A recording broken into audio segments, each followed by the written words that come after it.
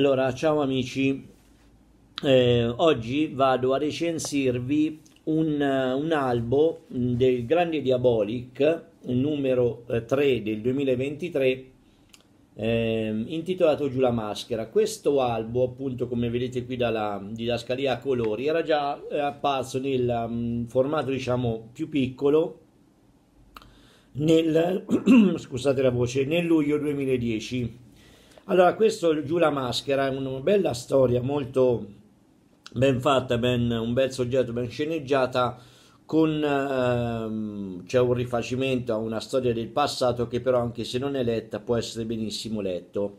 Allora, eh, il, il soggetto della storia è di Mario Gomboli di Tito Faraci, la sceneggiatura è di Tito Faraci, disegni di Emanuele Barison e la, mm, la, disegna la copertina di Sergio e, e Paolo Zaniboni.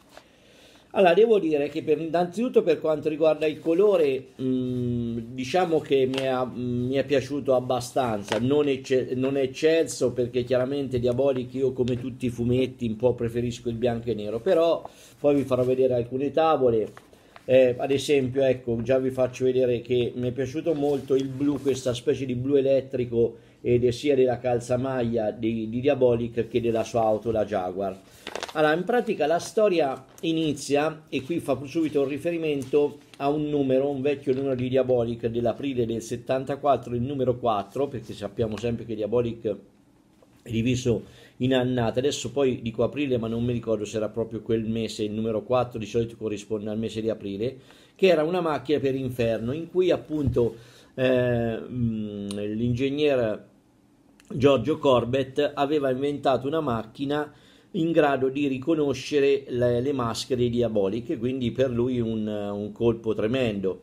E quindi inizia proprio mh, mm, eh, la, la, storia con Ginko che va a trovare l'ingegnere Corbett, Giorgio Corbett, dicendogli se gli fa vedere appunto la macchina che era ancora in funzione che doveva scoprire. E si accorge ben, bene, eh, ben presto che la macchina funziona perché, perché Ginko non altri che Diabolic che uccide eh, con una pugnalata con il suo famoso pugnale eh, l'ingegner Giorgio Corbett e trafuga tutti i documenti della, di, questo, di, questo, macchinario per lui appunto infernale perché ehm, noi sappiamo che le maschere per Diabolic sono sono tutto, è un elemento fondamentale per i suoi colpi, i suoi furti, sia per lui che per la compagna vacante e di studio.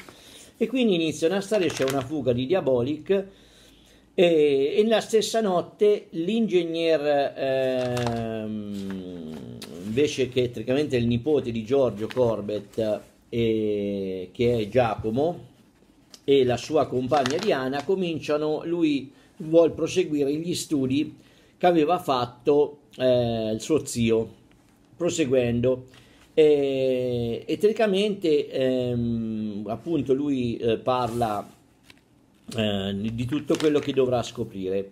Eh, passano i giorni e addirittura ci, ci sono due eh, diciamo bird watching che vanno alla caccia di un, un certo gufo maculato che, ehm, e si accorgono appunto della, cioè, di questo gufo maculato appunto si accorgono della macchina diabolica. E teoricamente mh, avvisano Ginko dicendo che in questa specie di villino di casale di, di, casa appunto di villa, villino come volete chiamarlo, eh, è probabile che ci sia un rifugio di diaboli che infatti chiamano una squadra speciale munita di maschere e antigas e addirittura scoprono tutti i, i trucchi di Diabolic, gas addirittura da un soffitto, vedete qui escono degli aghi che poi si scoprirà colpiranno un agente ma non, non mortali, solo eh, aghi narcotici e comincia, diciamo, entriamo nel vivo della storia. Perché entriamo nel vivo della storia? Perché causa un'infiltrazione d'acqua nel laboratorio dell'ingegnere mm, Giacomo Corbett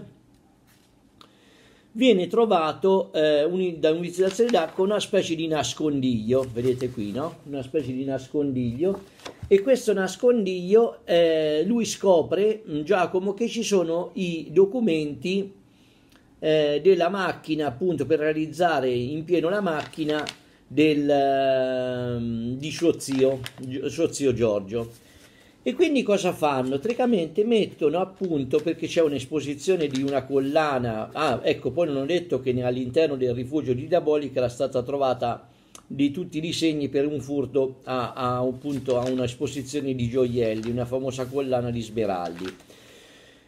Quindi loro che cosa fanno? Mm, provano questa macchina eh, appunto nel, nel salone nel, dove dovrà essere esposta questa, questa collana, questi gioielli, questa collana e questi gioielli. Si accorgono appunto che la macchina entra in funzione quando entra una donna. Una donna e eh, questa donna, loro si accorgono, dice, mm, Ginko pensa subito che è vacante, appunto con una maschera anonima, che va a controllare, a fare una specie di, cioè una specie, un sopralluogo. Però che succede? Stanno pedinando quando a un certo punto viene eh, fermata, viene strattonata da un, ehm, da uno scippatore e, e, e, viene smascherata.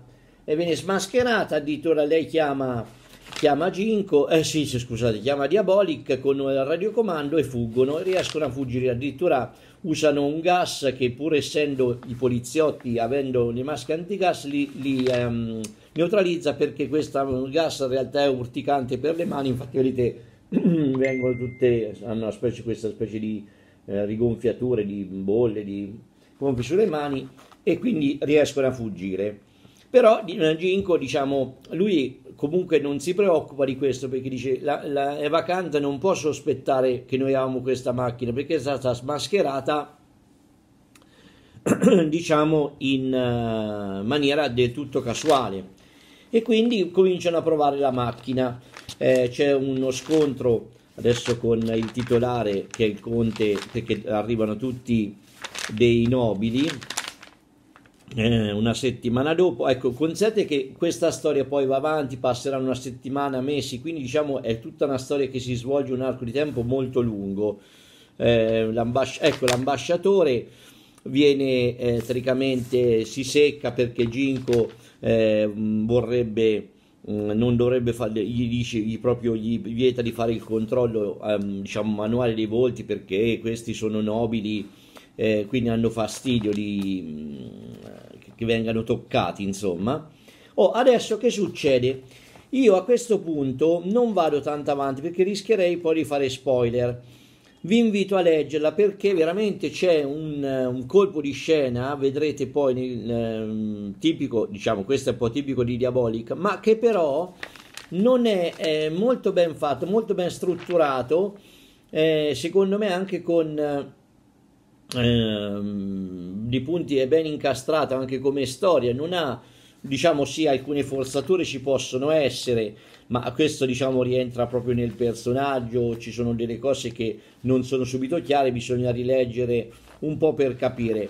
Diciamo che è una classica storia di Diabolic questo sì però ha in più il fatto mh, di questo pericolo di questo pericolo imminente che appunto il nostro protagonista, re del terrore, mh, mm, percepisce. Eh, e quindi c'è anche un po' un tema, questo lo posso dire, ma alla fine non è un proprio spoiler, di, di, di vendetta, anche se potevate immaginare, potete immaginare chi e perché. E quindi si legge bene eh, eh, molto interessante poi è il, l'editoriale di Mario Gomboli, proprio Mai senza maschera, che proprio parla di tutte le storie in cui sono, a parte protagoniste sempre, no? pensiamo alla storia dell'assassino dai mille volti, ma poi soprattutto il numero 5 del, 90, del 1968 che è stato ristampato nel numero 107, Diabolic 6.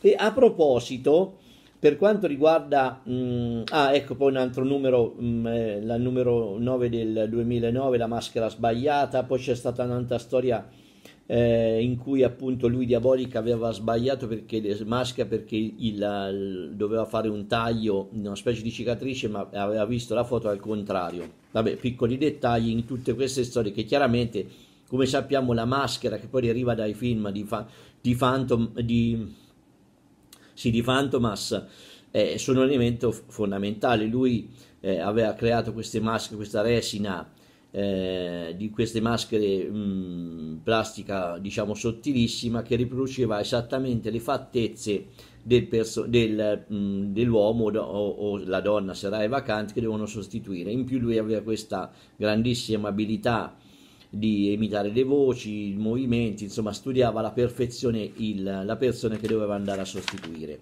Oh, a proposito, per quanto riguarda Diabolic 6, esce proprio oggi il film eh, Diabolic Chi sei, ecco questo dal 30 novembre 2000 e, eh, eh, da oggi, insomma 30 novembre 2023. Vado a controllare una cosa solo perché non mi ricordo eh, chi è l'attore, scusate un attimo.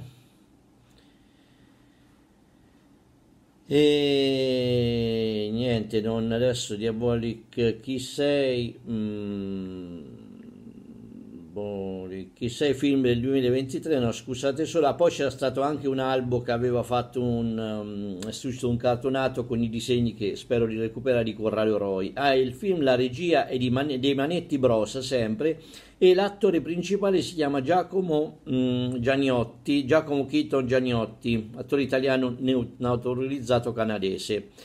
Mh, io sinceramente, cioè, gli altri non l'ho visti, sia il Diabolic del 2021 con Luca Marinelli che Diabolic 5 all'attacco. Me le recupererò e poi può darsi vado a vedere anche questo.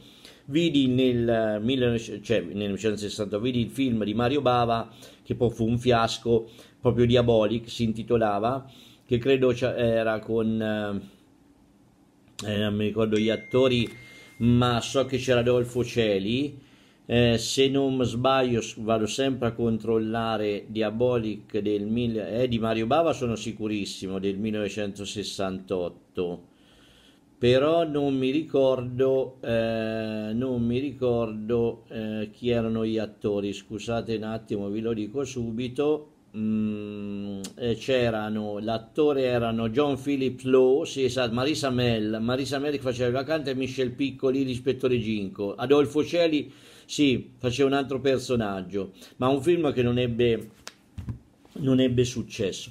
Va bene, comunque ve lo consiglio vivamente, a questo numero do un uh, eh, 8 eh, un, sì, un, veramente se lo merita e quindi vi invito a leggere questo oppure se avete il Grandi Diabolico originale, quello diciamo del, del 2010, a rileggere eh, se avete già letto o leggere quello.